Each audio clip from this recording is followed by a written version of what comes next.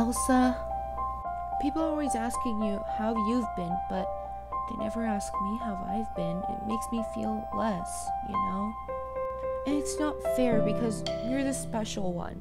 Everyone always calls you the special one, the special one, the special one, but I don't have any powers.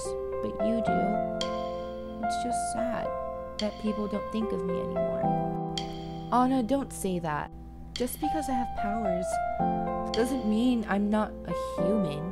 I'm still human, Anna. So are you. You could do things that I can't even do. Really?